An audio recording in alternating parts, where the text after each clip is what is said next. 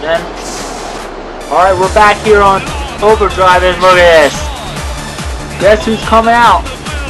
It's El Diablo and Ashley Dunn. The World Heavyweight Champion, Ashley Dunn, I might add. Great. Now we have to hear his boring ass. He's a total freaking sellout. He's a no good dirty bastard for what he did to the Hawkins boys, him and El Diablo, and they can suck my thigh. You know what? Screw gimmick infringements, but that's how I feel about Ashley Dunn and El Diablo. They can suck my thigh. I just hate Ashley Dunn and El Diablo. They both make me sick. Anyways, Ashley Dunn in the ring, he's gonna speak his mind about something.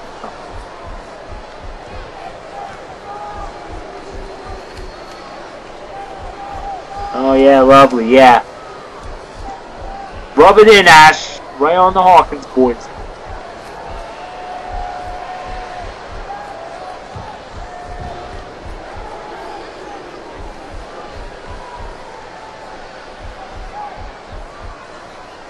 What a chicken shit! Pussy. He ain't gonna challenge Cadavers for the NAW. Not even gonna challenge Cadavers. He's not to put the world belt up. He will not defend the world title against Cadaver. Oh, wait a minute. Here comes Nathan Elliott, the general manager of Overdrive. Nathan Elliott. I think he has a different opinion.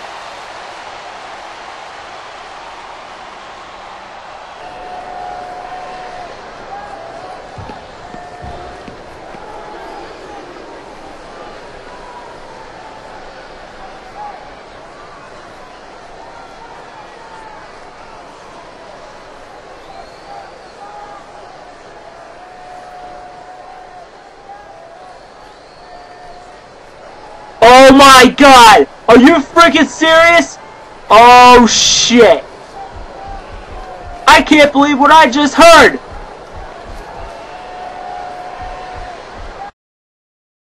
And here we go with the Summer Bash rematch. The Petro will be taking on Vincent. And you know, we've been talking about, you know, the lethal lottery 40 guys and 20 random tag teams. 40 guys, 20 from Overdrive and Aftershock will compete and will be thrown in a lottery and put in 20 random tag teams. What, what a lethal lottery it's going to be. And Vincent has won the last two. Anybody can win the lethal lottery. Anybody can win. Picho has his sights on main eventing Dynasty this year. He's got to do that. He's got to win the Lethal Lottery. And here's the man who's won the last two Lethal Lotteries and trying to go for the three-peat this year to become a three-time Lethal Lottery winner. Here he is, guys, the 0708 Lethal Lottery winner, Vincent. I'm going to say this, you know, Vincent's been here since the beginning. He's a former world champion and would like to win the Lethal Lottery for the third straight time. Even guys like the Petros, Jack Fox. But Jack Fox's dreams of wanting to go to Dynasty, he wants to challenge Ashley Dunn and make it better than Hulk Hogan against the Ultimate Warrior. Come on, Jack. You don't even know if you're going to win it or not. It could be your boyfriend El Diablo, or your other boyfriends, Cypher, or LBG. You don't know that yet. I mean, how do you know if Ashley Dunn might lose the World Heavyweight title? Because I think he's going to get buried alive at the Lethal Lottery. And Cadavers will make sure that Ashley Dunn will rest in peace. I hope that happens. I really hope that happens. Anyways, here we go with this matchup. Vincent with forearms to the back of DePietro's back. I think I botched right there, but whatever. DePietro, oh, taking it to Vincent. Punches to the face by the Petro, and you know, Vincent and DePietro have had a rivalry for a while. They competed in the first ever BYU Overdrive Episode 1. While Vincent defended the world title against DePietro, and Vincent won. And of course, at the Summer Bash, Vincent picked up a big victory over DePietro. And here's the third matchup between these two. Nice hip toss by Vincent. He's a smart wrestler. He may be a light heavyweight, but you know what? He's always took on the heavyweights.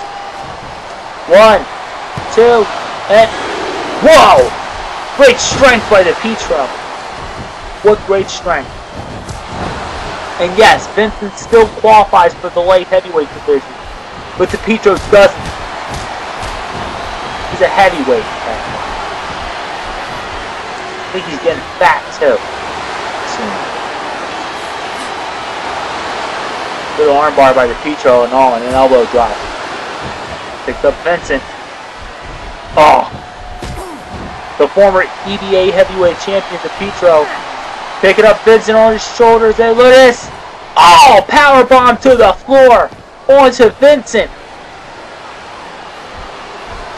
I wonder why the, Petro thinks he's still extreme. What's wrong with BYU? Don't they like it here? I ain't sure if they like it here. Because I'm hearing some rumors that the Andersons are pissed off backstage of losing the World Tag Team titles to the Angels. I don't know what they're pissing, moaning, and bitching about. Whatever.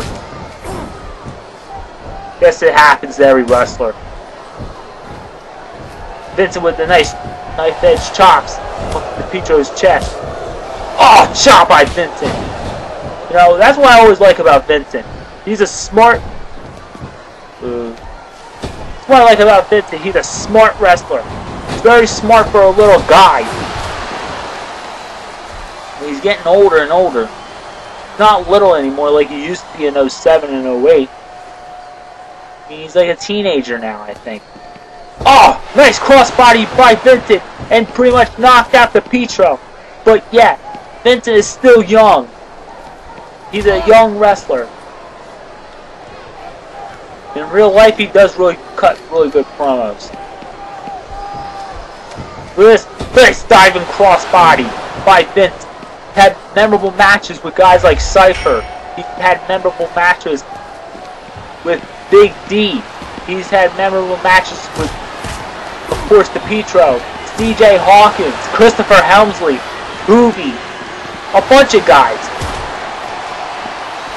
not the whole roster, but he's never wrestled guys like Ashley Dunn and Sean Matthews. Wait, I think he did wrestle Sean Matthews.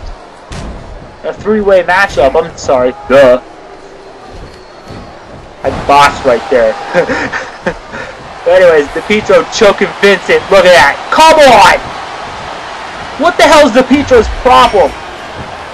Wants to take Vincent out of wrestling? He, he's like a big guy choking a kid. Would you imagine that? Seriously. Can you imagine a guy like in his 20s choking out a young 13-year-old kid? Vincent, I think he is a teenager, I believe. Vincent, uh-oh. I think he's getting pissed off. And an arm bar by DePietro. Oh. Kicks him in the gut. Wait a minute. Oh, man! Oh! An Alabama slam by that reject Hardcore Holly. And I think Vincent's been knocked out. I think he's out of it. One, two, and three. And DePietro wins it over Vincent on overdrive. DePietro picks up a clean win over Vincent. Man, oh man. I consider that an upset. You may think I'm crazy, but that is an upset.